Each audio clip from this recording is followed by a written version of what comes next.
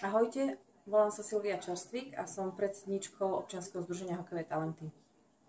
Ahojte, ja som Vladimír Bela a som športový manažér klubu Hokejové talenty. Ja som Jozef Kasanický a som podpredsedom správnej rady hokejových talentov. Spolu sme sa dohodli a rozhodli, že vám aj takouto formou videoblogu budeme prinášať rôzne novinky zo zákulisia, z činnosti nášho hokejového klubu. Práve sme teraz dokončili kopu administratívy a tým, že nemám na starosti koordináciu tréningového procesu, začneme tým, že pôjdeme pozrieť na trénerov, ako pracujú. Takže poďte so mnou, pôjdeme do trénerskej miestnosti.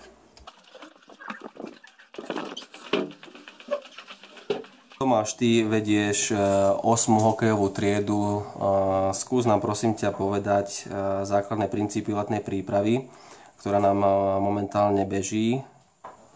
No, každopádne vieme, že letná príprava je najneobľúbnejšia časť prípravy, čo sa týka hokejistu. Ale treba to brať tak, že bez tej letnej prípravy sa proste v zime nedá fungovať. Takže snažíme sa chlapcom vysvetliť a povedať, že proste čo naberú teraz v lete, tak z toho budú žiť vlastne v zime. Dobre, tá letná príprava má 8 týždňov. Skús nám povedať, aký typ zaťaženia, respektíve typ cvikov, skladka základné princípy tej letnej prípravy. Tak uh, letná príprava väčšinou tá ideálna dĺžka letnej prípravy je 8 až 9 týždňov. Začína sa prevažne vždy v máji.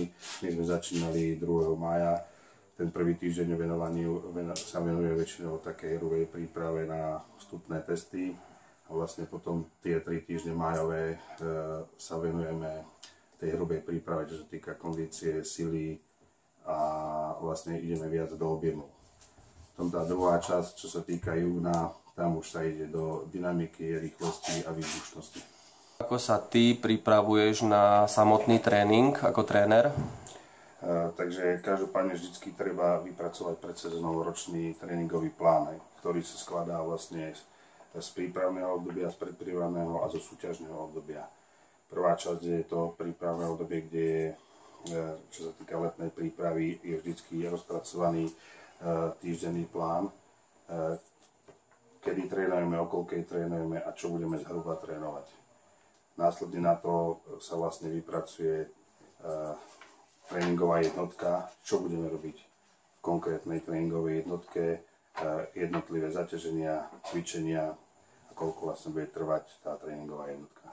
Okrem takýchto štandardných príprav na tréningový proces e, venujete sa tréneri aj vy nejakému samozdelávaniu alebo ako sa zdokonalujete v tej trénerskej činnosti? No, konkrétne na túto otázku môžem odpovedať tým, že vlastne na našich trénerských poradách, ktoré máme vždy raz e, v týždni, jeden deň v týždni, tak e, vždycky jeden tréner e, si vyberie nejakú tému, čo sa týka prípravy alebo zdokonalovania. Vždycky si naštuduje a vlastne predostrie to ostatným kolegom a potom to vlastne roz, rozoberáme dopodobne a debatujeme o tej jednotlivej téme, ktorú si tréner vybral. Maťka, skús nám ty uh, priblížiť, čo sa, čomu sa aktuálne venuješ.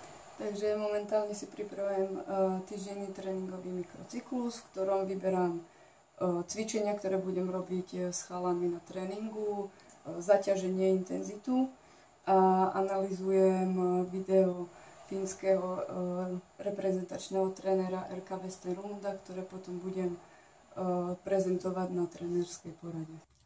Jednou z noviniek, ktorú zavádzame, sú osobné konzultácie s trénerom. Už budúci týždeň máte rodičia možnosť eh, prísť sa zapísať a dohodnúť si konkrétny termín a čas, eh, kde môžete osobne s trénerom prejsť rôzne témy, ktoré vás trápia, či už je to eh, výkonnosť vášho dieťaťa, správanie, tréningový proces, krátka, čokoľvek vás trápi, môžete si s trénerom odkonzultovať.